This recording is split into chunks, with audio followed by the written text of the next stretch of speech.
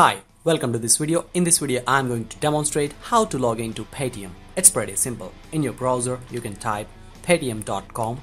You will be seeing this website will be loaded. Towards top right, there is a login button. Just click on it. If this is your first time, you need to click sign up. Fill up your mobile number, email ID and password.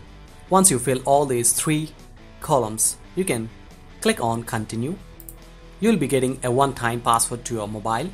You need to fill the details. Provide the one-time password, your first name and last name. Choose your gender and click sign up. Now you can see you have been successfully logged in.